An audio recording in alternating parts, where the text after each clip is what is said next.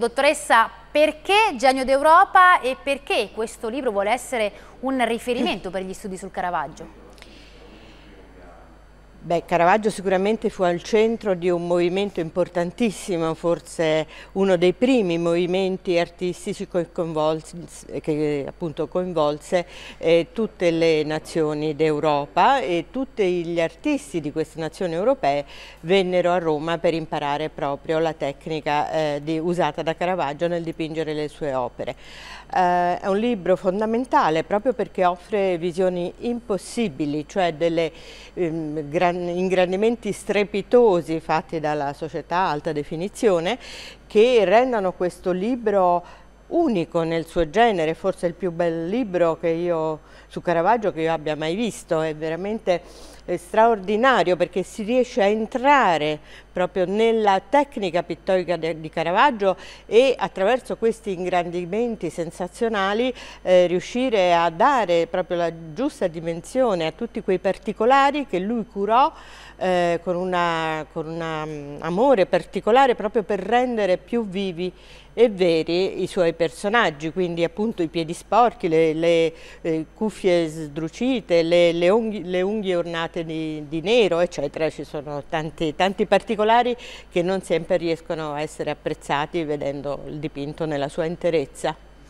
Senta, Caravaggio un grande artista, questo è indubbio, ma anche un carattere litigioso, collerico che lo porterà alla rovina. Quali sono le ragioni di questa inquietudine interiore del Caravaggio? Ma sicuramente va un po' eh, diciamo, calata nel, nell'epoca, non erano tempi tranquilli e quindi lui si inserì, si inserì in un contesto eh, più, di, un, di, una Roma piuttosto violenta e rimase eh, diciamo, preso da questi meccanismi di, di, di dire, aggressioni, di uccisioni, di duelli eccetera. Indubbiamente era molto predisposto, era, era predisposto ehm, viene dalla, dalla, Lombardia, nasce a Milano Caravaggio, si trasferisce a Roma che ha mh, circa 24-25 anni. E, mh, e, qui appunto viene eh, accolto, arriva ed è eh, poverissimo, povero e affamato, quindi indubbiamente ha anche dei contatti particolari con i bassifondi della città, proprio perché e poi eh, quando il suo genio comincia a essere apprezzato e cresce, ehm, eh, continua a bazzicare questi, questi, ambienti un po' come forse può essere fatto un parallelo con una delle rock star de, del nostro tempo, questi spiriti inquieti che proprio per questo noi in qualche modo sentiamo così vicino anche a noi, eh, proprio perché spesso viviamo queste, queste stesse inquietudini. A proposito dei contesti anche storici che bisogna tener conto quando si parla e si analizza un artista, 500 anni fa Lutero pubblicava le 95 tesi sulla cattedrale di Wittenberg. In che modo la pittura di Caravaggio si inserisce nella controriforma cattolica? Sì, questo è un argomento che è stato affrontato e molto discusso, eh, è stata spesso interpretata proprio come la sua luce con cui illumina eh, le, le, sue scene, che è una delle caratteristiche della, della sua pittura, quella forse più originale, questa, questa lama di luce che illumina queste, le scene da lui dipinte è stata spesso interpretata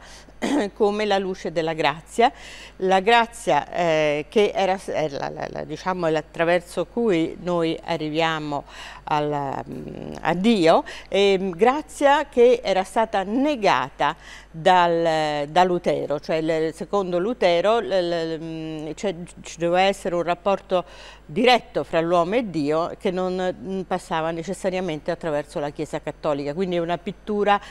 eh, secondo questa interpretazione anche molto politica di Caravaggio, proprio una pittura in chiave antiriformistica e soprattutto antiluterana. Lo abbiamo in parte già detto all'inizio di questa conversazione, ma perché dunque la collana si chiama Visioni Impossibili? E proprio perché contiene al suo interno queste magnifiche riproduzioni che consentono proprio di entrare dentro la pittura di Caravaggio. È come essere vicino a Caravaggio mentre eh, dipinge le sue opere e, e, e addirittura in certi casi proprio vedere, vedendo queste pennellate, vedendo i pentimenti, i, ripensamenti, gli abbozzi che lui fa, proprio, entrare, riuscire a entrare proprio nella sua testa per capire anche meglio le sue scelte.